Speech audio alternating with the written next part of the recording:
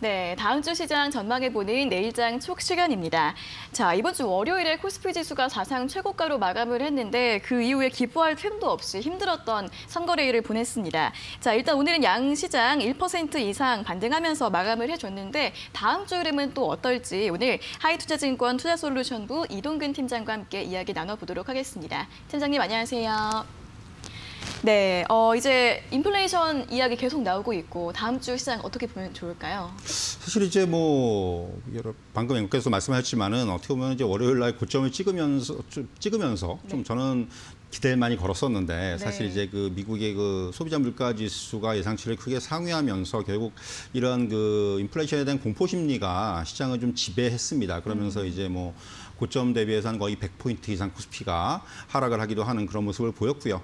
사실 이제 그 이런 인플레 압력이 뭐 향후에도 당분간은 좀 이어질 것으로 예상이 되고 있죠. 사실 어떻게 보면은 지금 그래서 시장을 크게 보면은 연준을 비롯한 그 정책 당국의 인플레에 대한 긴축 우려를 좀 완화시키려는 노력하고 그리고 이제 시장에서는 긴축을 좀 기정사실화하는 네. 이러한 또 어떤 움직임과의 그 이제 줄다리기 국면이 나타나지 않겠는가 이렇게 말씀드릴 수가 있을 것 같고요.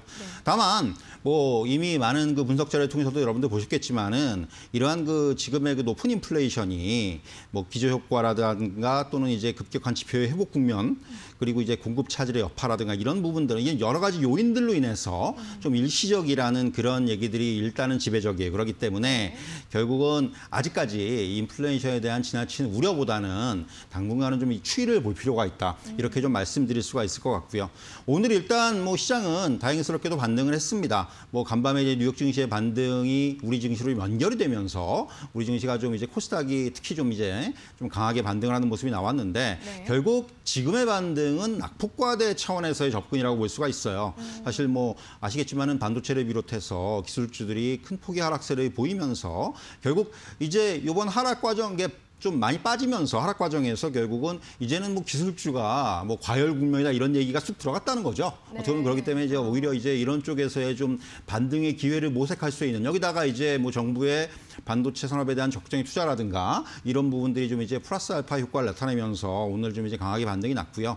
결국 다음 주도 좀 이러한 좀 이제 그 반등의 흐름들이 이어지면서 결국 이제는 어떤 그 인플레이션 이슈로 인해서 주가가 좀 단기적으로 흔들렸는데 이러한 단기적으로 흔들린 주가들이 좀 정상화를 정상을 찾아가는 정상화 되어가는 이러한 과정이 당- 다음 주에는 좀 나타나지 않겠는가 이렇게 좀 말씀드릴 수가 있을 것 같고요. 네. 다만 이제 오늘 뭐 상대적으로 뭐 최강 업종이라든가 이런 쪽은 좀 약했습니다. 그러니까 네. 어떻게 보면 기존의 시장을 좀 주도했던 경기 민감주라든가 시클리컬 업종들이 좀 약세를 보이는데 하지만 아직까지도 이런 그 경기 민감주의 어떤 상대적인 우위가 좀 지속될 것으로 보여집니다. 왜냐하면은 이러한 그 인플레이션 관련된 이슈들이 계속해서 시장에서 좀 그 부각이 되면서 결국 이러한 그 상대적인 경기 민감주에 대한 관심이 높아질 수밖에 없을 것 같고요. 네. 결국 그렇기 때문에 이런 쪽에서 상대적으로 덜 오른 업종이라든가 이런 쪽에 대한 관심이 필요하다 이렇게 좀 말씀드릴 수가 있을 것 같고 다음 주 코스피의 어떤 이거 예상 지수는 한 3,100에서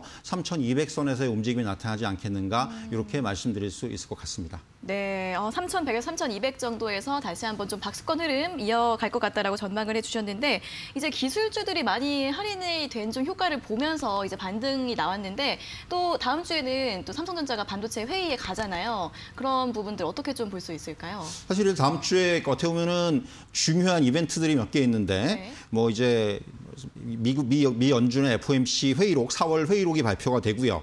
결국 이에 어떻게 보면은 여기서 어떤 얘기가 나왔는가도 중요하지만은 결국 뭐 금리 인상에 대한 논의 시점이라든가 이런 부분들이 어떻게 언급이 되는지 이 부분이 저는 굉장히 중요하다고 말씀드릴 수가 있겠고요. 앵커에서 말씀하신 대로 이제 20일 날 그 미국 상무부가 반도체 업체들 또 완성차 업체들을 불러서 이제 네. 이 2차 회동을 가집니다. 결국 지금 반도체 공급 문제와 관련해서 뭔가 이제 미국 측에서 지금 어떻게 보면 글로벌 반도체 value chain이 새롭게 좀 짜여지고 있는 흐름이거든요. 미국 중심의 어떤 이런 흐름을 지금 어, 미국 측에서는 계속해서 지금 그 만들어가고 있는데 결국 이 자리에서 이런 뭐 투자 확대라든가 이런 부분들에 대한 요구가 좀 나오지 않겠는가 그렇게 좀 말씀드릴 수 있을 것 같고요. 네. 또 하나 중요한 이벤트는 21일 날 있을 한미 정상회담이죠. 역시 이제 뭐 바이든 정부의 대북 정책과 관련된 논의들 그리고 그 밖에 뭐 오늘 시장에서는 많이 얘기가 됐어요. 뭐 반, 이제 한미 간 반도체 관련된 또 논의들 뭐 앞서 이제 말씀드린 미국 상무부의 어떤 이런 회의와도 연결이 되는 부분인데 결국 이러한 것들이 좀 논의가 될 것이다 이런 얘기들이 나오고 있고 또 하나는 이제 백신과 관련해서 코로나19 백신과 관련해서 이미 뭐 오늘 삼성바이오로직스 같은 경우는 이제 모더나 이슈가 불거지면서 오늘 주가가 많이 올랐는데 이런 부분들이 조금 이제 어느 정도 양국 정상과의 만남을 통해서 좀 구체화되지 않겠는가 이런 말씀을 드릴 수 있을 것 같아요.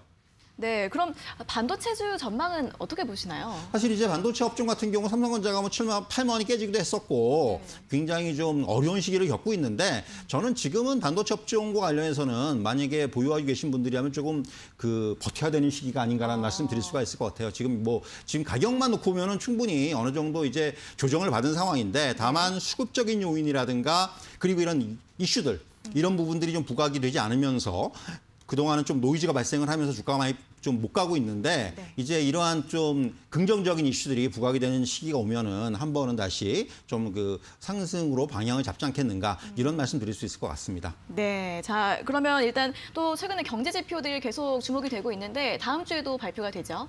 사실 이제 뭐 다음 주에 중요한 것들은 미국하고 유로존의 5월 마켓 제조업 PMI 잠정치가 발표가 됩니다.